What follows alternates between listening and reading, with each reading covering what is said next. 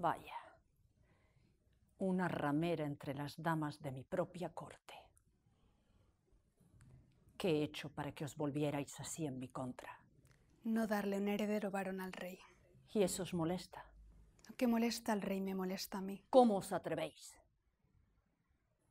¿Qué queréis? ¿Que me vaya a hurtadillas y tome los hábitos? Pues no lo haré. ¿Queréis que mienta ante Dios y afirme que mi primer matrimonio fue consumado? No lo haré. ¿Creéis que me retire y renuncie a los derechos de mi hija como única heredera al trono? No lo haré. Ni aunque viva mil años, ni aunque me torturen hasta el último aliento.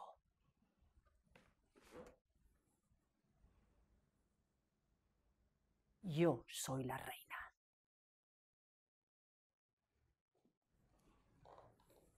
La única esposa del rey y madre del heredero al trono, amada por su pueblo y amada por un rey al que vos habéis hechizado